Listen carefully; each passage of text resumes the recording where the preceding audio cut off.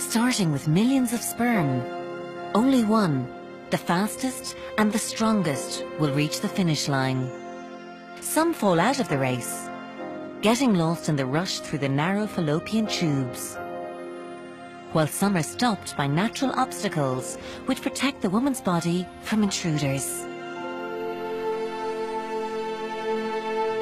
Those who make it closer to the end compete fiercely with each other.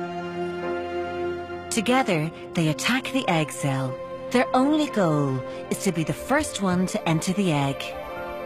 Only one will make it through, but by this mission, by slowly dissolving the membrane of the egg.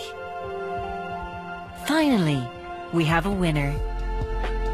The winning sperm enters the egg and conception occurs. Half the man's and half the woman's chromosomes combine.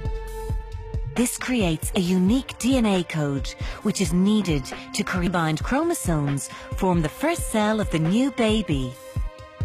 This is now called the zygote. The zygote starts to divide into a cluster of cells and begins to travel to the friendly and safe habitat of the uterus. When the zygote is divided into a bubble of cells, a blastocyst is formed with an inner layer of cells making up the embryo and an outer layer which will protect and nourish the embryo.